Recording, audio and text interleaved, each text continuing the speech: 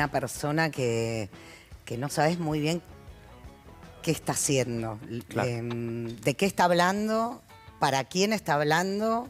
eh, y, y lo que ves es como una prendida de ventilador y una tirada de mierda generalizada para cualquier lugar, como generando una, una instancia, digo, autoritaria, violenta, de, de- de ningún tipo de diálogo con nadie. Eh, a la vez tampoco ves un discurso, un argumento Claro. político, que decís, bueno, nos sentamos a hablar, hablamos de economía, eh, digo, hablamos de, de- de política, hablamos de internas, hablamos de algo.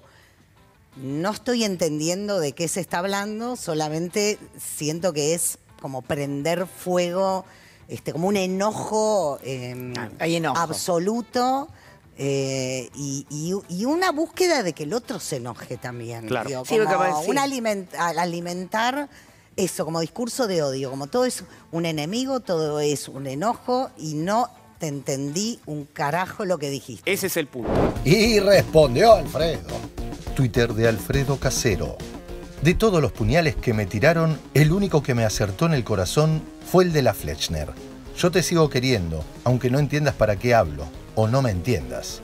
Es como tirar como yo digo, una palabra y como para que cada quien arme, digamos, su propio incendio, ¿no? Pero es, es sencillamente, me parecen como discursos muy provocadores, este, y además provocadores eso, de falta de, de no diálogo, de no comunicación, este, y de cancelación absoluta del otro. Y yo digo, lo hemos escuchado decir cosas muy feas contra personas, digo, que respetamos. Por supuesto. Este, no, no, no sé, no, no considero un, digamos, alguien, digo, que, que- que tenga algo para ofrecer en algún sentido. Creo que así a, a muchos les sirve ese discurso de claro. odio y, y es utilizado para fogonear intereses. Yo creo Pero que- en sí mismo es la nada, es Claro. un- un- un- una cañita voladora.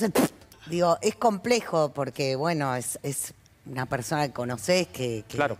que respetaste artísticamente, pero, pero bueno, también es difícil ver, como decís vos, a alguien que te pareció un gran artista en un momento, eh, en una instancia donde no está siendo el artista que era y lo que está haciendo es... eh, es muy inferior a lo Claro, que es podría verdad. ofrecer como artista. Quizás es una- quizás Digamos, es un es como si dijera, Sí.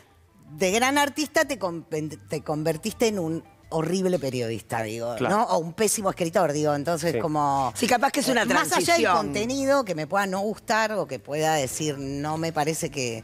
Digamos, que me parece muy de los tiempos, por eso también me parece que es muy capturable por, por a quien le interese como fogonear esa instancia. Pero bueno, es como, te da ganas de decir, dale, volvé a hacer Por favor, Volvé, claro, volvé, volvé al, volvé al barrio, Sí. eh, dejá, salí del, salí del, eh, como del barrio privado, Sí. este, volvé a. Volvé con el doctor volvé, Vaporeso. volvé, Yo igual creo que igual creo que la gente a veces Batman, son. Yo Batman, pienso que son volvé. procesos. Ahí está, viva Perón, viva Perón.